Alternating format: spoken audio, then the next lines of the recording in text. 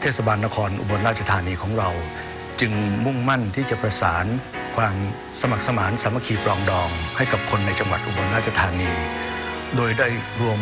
ทั้งภาครัฐ เอกชน ตลอดจนพี่น้องประชาชนในเขตจังหวัดอุบลราชธานี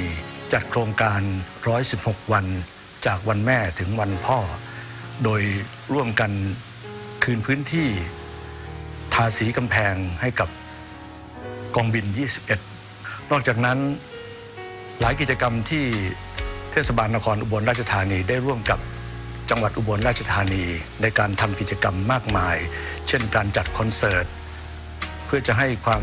สุขความบันเทิงให้กับพี่น้องประชาชน สิ่งที่จะทำให้ประเทศไทยของเรานั้นได้เดินหน้า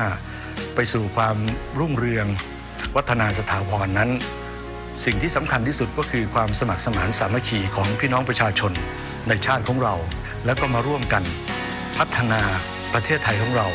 ให้ประเทศไทยของเรานั้นเดินหน้าสู่ความรุ่งเรืองสถาพรต่อไปครับ